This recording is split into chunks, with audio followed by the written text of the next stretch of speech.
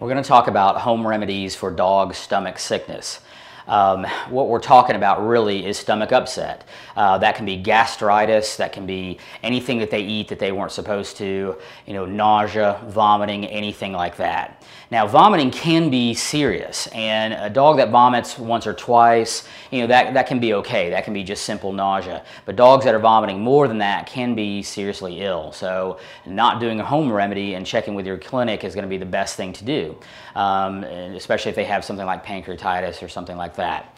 So at home, the first thing to do if your pet is vomiting or your dog is vomiting is actually to take up the food and water. Now, um, there's a big myth in that, you know, if, if, a dog is vomiting, they're automatically dehydrated, keep giving them water. Well, what happens is dogs want to keep gulping that water and they keep vomiting, so that actually makes them worse.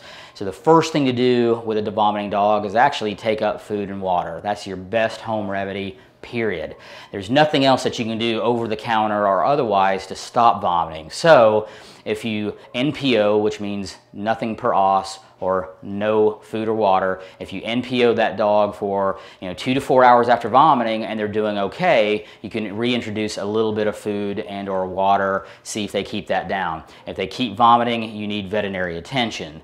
And so lots of vomiting can lead to dehydration, but just a couple times will not. So take up that food and water.